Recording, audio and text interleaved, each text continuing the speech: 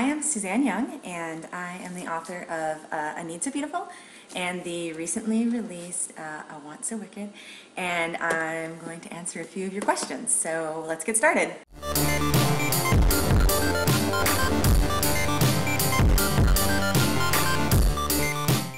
So for those of you who haven't read it, uh, A Need So Beautiful is about a girl named Charlotte Cassidy who finds herself compelled to help people. Uh, she is physically drawn to be somewhere, uh, to tell somebody something that could change their lives.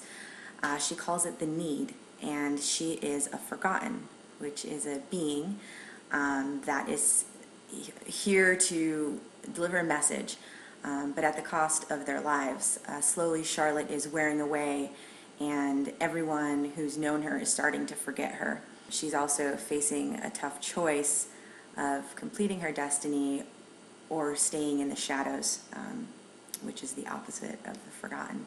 A Want So Wicked, which is the sequel, it's more like a companion. Uh, we meet Elise Landon, who also feels the need but we start to learn about the shadows and what they have is called the want. And it is the need to spread misery as opposed to the forgotten who spread hope. You have some cameos from uh, of characters from the first book, uh, but we're on a different journey here. And I think it's, it's kind of fun to see what the evil is all about as well.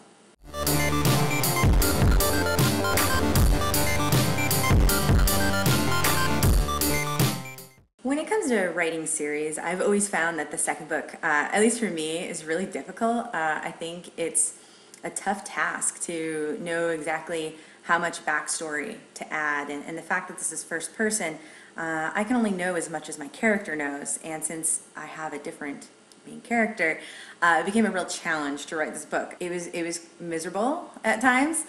Uh, and then there were some times where I learned more about Charlotte from the first book by writing uh, this new this new scene, these new scenes and these new characters. So I would definitely say that the sequel was much more difficult to write than the first one.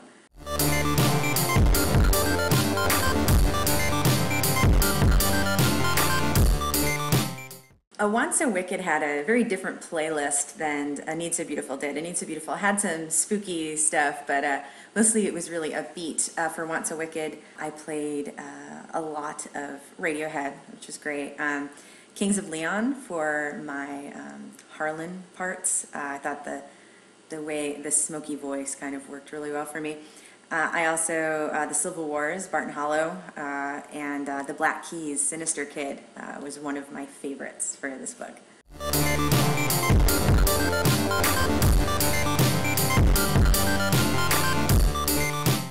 So I'm very excited about what I have coming up next. Uh, in spring of 13, my new series, starting with The Program, comes out, and it takes place in a time where teen suicide has become a national epidemic killing one in three teens.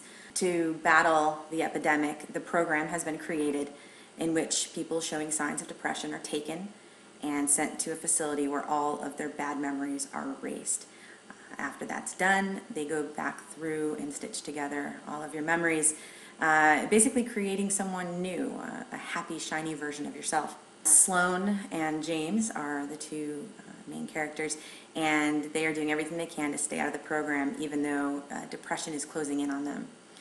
So I'm really excited about this book, and I think of it as um, can you fall in love with someone if you erased all of your past together? Can, would you would you make the same mistakes? Uh, so I think I think it's really interesting, and I'm really excited about it, and I hope everyone likes it. So that is all for me. Uh, hopefully I answered some of your questions and thank you so much for uh, letting me talk with you. Have a good day.